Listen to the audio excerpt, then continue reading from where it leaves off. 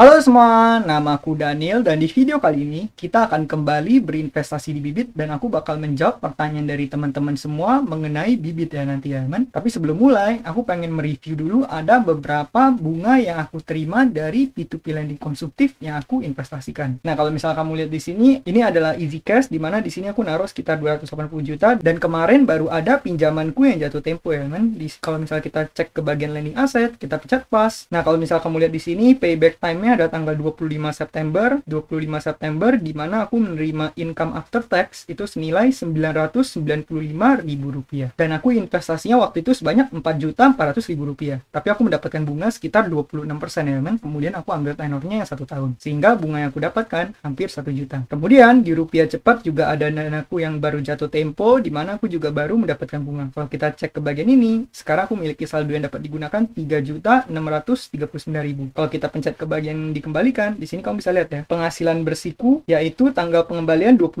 September Rp139.000. Berarti kalau ditotalin, hari ini aku mendapatkan passive income sebanyak Rp1.135.197. Dan total dana yang udah kembali itu sekitar 4,4 juta ditambah 3,5 juta. Berarti itu sekitar 7,9 juta sekian ya, teman. Nah, uang ini bakal aku pindahin ke bibit aja. Tujuannya apa? Tujuannya supaya aku bisa main sedikit lebih defensif ya, teman. Jadi mungkin di bibit aku bakal masukin, mungkin aku bakal masukin 15 juta aja di sini. Supaya aku mainnya sedikit sedikit lebih defensif dari biasanya. Karena seperti yang kamu ketahui, keadaan ekonomi belakangan ini lagi nggak menentu ya, teman. Gimana cara investasinya? Seperti biasa, kita bakal membeli Sukor Invest Stable Fund ya. Kita di sini beli Sukor Invest Stable Fund, kita beli, pencet obligasi, kemudian beli top up, kemudian aku bakal masukin 15 juta. Oh, ternyata di sini juga udah bisa langsung menyalain cashback walaupun kita melakukan pembelian di portofolio biasa ya, teman. Nggak harus di dana pensiun lagi. Yaudah, kita tinggal pencet beli sekarang, kemudian aku tinggal pencet saya menyetujui, pencet bayar sekarang, kemudian aku bakal bayar menggunakan menggunakan Bank Jago. Karena di Bank Jagoku kebetulan lagi ada uang sekian ya udah kita tinggal pencet bayar di sini ya, teman. Kemudian kita masukin password seperti biasa, kita pencet lanjut. Pembayaran berhasil. Kalau kita pencet selesai sekarang, kalau kita cek ke bagian transaksi, aku bakal dapat cashback 25.000 dan portofolioku udah bertambah 15 juta sekian ya, teman. Sekarang nilai portofolioku udah sebanyak 62 juta sekian. Jadi gitu ya, teman, cara untuk berinvestasi di bibit. Nanti uang dari P2P lending bakal aku tarik dan aku bakal taruh di bank jagonya atau di bank lain yang bisa menghasilkan bunga harian ya. Oke, Oke, sekarang aku bakal jawab pertanyaan dari teman-teman semua. Yang pertama dari Kak Diki Channel. Bang, mau tanya nih. Saya kan ada RSD BNI AM Index di dana pensiun. Sekitar 50k minus. Nah, selang beberapa hari saya beli lagi BNI AM Index 30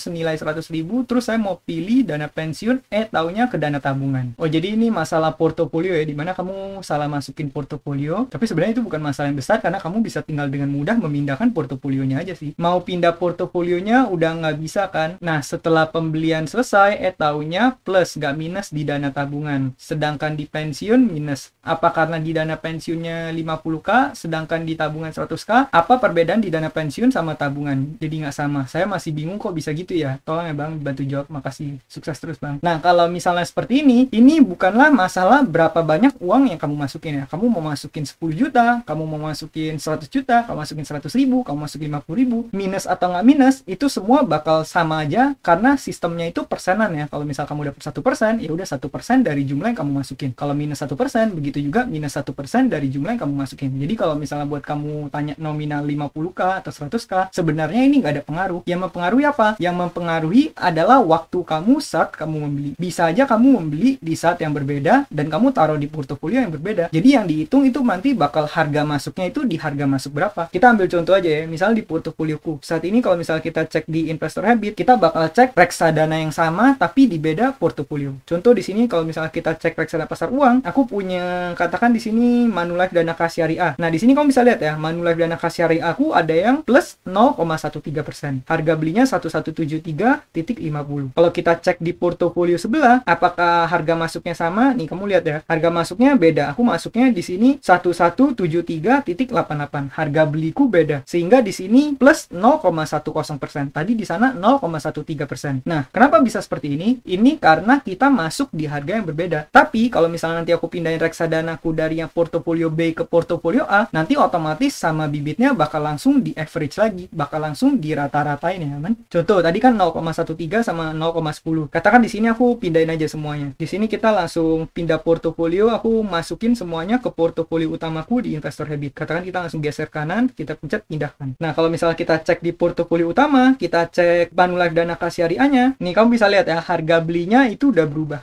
Kenapa udah berubah? Ini karena udah dirata-ratain dari dua portofolio tersebut yang disatukan. Nah, jadi kalau misalnya kamu terjadi seperti ini, ini wajar banget. Bisa aja pas kamu membeli BNI AM Index 30-nya di pertama di tanggal sekian, kamu masukin portofolio A. Misalnya katakan kamu beli di harga 100. Kemudian pembelian kedua kamu beli di harga 150, masukin portofolio B. Kemudian saat ini harganya adalah lagi di 125. Ya otomatis nanti di portofolio yang sebelah bakal positif, di portofolio yang kedua bakal jadi negatif. Dan kalau misalnya kamu gabungin, ya otomatis nanti bakal sama mereka bakal langsung di average lagi di rata-ratain menjadi 125. Kalau digabungin ya nanti bakal jadi 0%. Kalau misalnya kamu masukinnya angkanya yang sama di pembelian pertama dan pembelian kedua. Jadi seperti itu ya. Jadi ini ibaratnya sama seperti saham, plus atau minusnya kamu bisa lihat di bagian harga belinya ini ya, men. Kamu cek ke bagian harga belinya ini, kemudian kamu cek harga sekarang. Nah, dari situ kamu bisa dapat persentasenya, kemudian kamu tinggal kalkulasiin aja dikali dengan nominal yang kamu punya. Nanti kamu bakal ketemu berapa floating loss ataupun floating profit. Nah, selama portofolionya nggak dijual, ya nanti ini bakal jadi floating aja ya kan. Kayak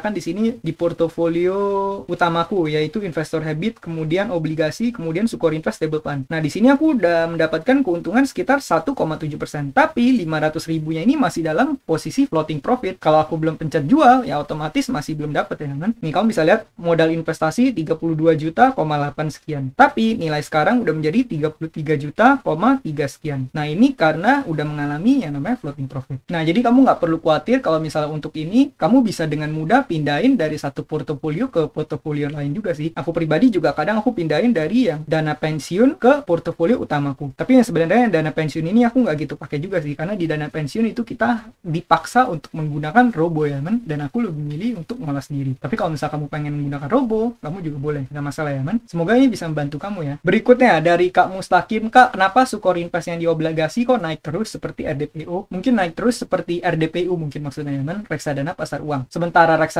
obligasi yang lain naik turun walaupun jangka panjang cenderung naik. Nah di sini aku juga udah bukain beberapa ya di sini aku bukain Sukor Invest Stable Fund Syariah Sukuk Fund Dana Mas Stabil sama ABF Indonesian Index Fund. Nah kenapa kalau misalnya sebagai reksadana obligasi ada yang kenaikannya itu seperti ini. Kalau misalnya kita lihat di all, emang sih, walaupun dalam jangka panjang dia naik, tapi dia bakal ada sedikit drawdown yang lebih tinggi. Nah, kita ambil contoh yang ini ya, ABF Indonesia Bond Index Fund. Nah, jawabannya adalah karena isinya itu beda ya, men. Sebagian reksadana obligasi itu membeli reksadana obligasi negara, sebagian reksadana obligasi itu membeli obligasi korporasi. Jadi kalau misalnya kamu cek di sini ABF Indonesian Bond Fund Index, kalau kamu lihat isinya itu adalah obligasi-obligasi negara. Kamu bisa lihat di sini isinya adalah FR091 FR087, FR68. Kalau misal kamu pengen tahu, kamu tinggal search di Google, kamu bisa langsung ketemu ya, men. Di sini kamu bisa buka nih. Nih kamu bisa buka di KSEI nih, kamu bisa lihat ya, ini merupakan informasi lengkapnya, isinya merupakan obligasi-obligasi korporasi. Nama emiten adalah pemerintah Republik Indonesia. Nih kamu bisa lihat jumlahnya berapa. Nah, kalau misalnya yang seperti ini, ini beda ya, men, Sukor Investable Fund. Ini digunakan untuk membeli obligasi korporasi. Makanya kalau misal kamu lihat, returnnya itu bisa memberikan return yang lebih tinggi. Karena kenapa? Karena obligasi korporasi korporasi, otomatis lebih tinggi resikonya ketimbang obligasi negara. Obligasi negara itu dijamin 100% oleh negara. Sedangkan obligasi korporasi yaitu tergantung dengan kemampuan dari korporasi tersebut. Contoh kita katakan di kita cek di top holdingnya. Katakan kita buka salah satu aja, mungkin kita buka yang ini ya kan. Kita tinggal cek search. Nih kamu bisa lihat di KSEI-nya. Nih kamu bisa lihat ya. Ini merupakan Busan Auto Finance obligasi berkelanjutan Busan Auto Finance. Nih kamu bisa lihat ya. Interest rate-nya itu 5,9%. Dan ini adalah obligasi korporasi kita buka satu lagi Becom ini tadi aku juga udah cek ini Bank Commonwealth ya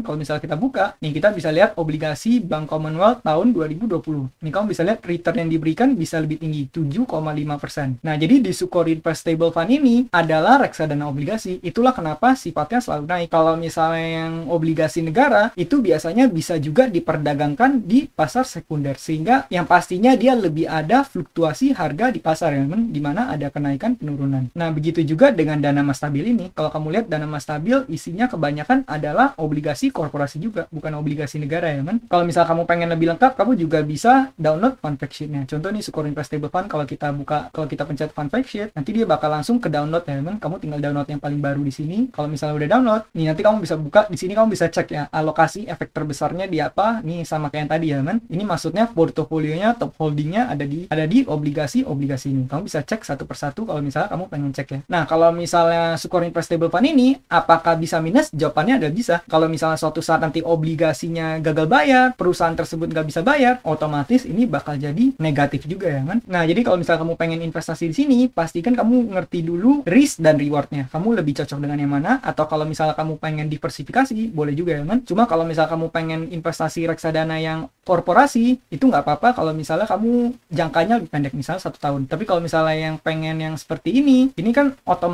dia lebih ada drawdown. Ya akan lebih baik kalau kamu investasinya jangkanya sedikit lebih panjang. Contohnya 3 sampai 5 tahun. Kalau lebih dari itu lagi misalnya 10 tahun 15 tahun reksadana saham juga bisa lebih oke okay, ya kan CAGR-nya biasa bisa lebih tinggi. Nah semoga membantu buat kamu ya kamu tim nah mungkin sekian aja jawaban-jawabanku di video kali ini. Nah, nanti pertanyaan-pertanyaan berikutnya ini aku bakal jawab di video berikutnya supaya video ini nggak kepanjangan ya kan bagi kamu yang baru mulai invest kamu juga boleh menggunakan kode referral yang udah aku tulis kolom deskripsi. Kemudian kamu juga boleh cek playlist untuk review platform keuangan lainnya juga selain bibit ya. Sekian aja video dari aku semoga video ini bermanfaat dan akhir kata jangan lupa untuk selalu invest in yourself. Sampai jumpa di video berikutnya. Bye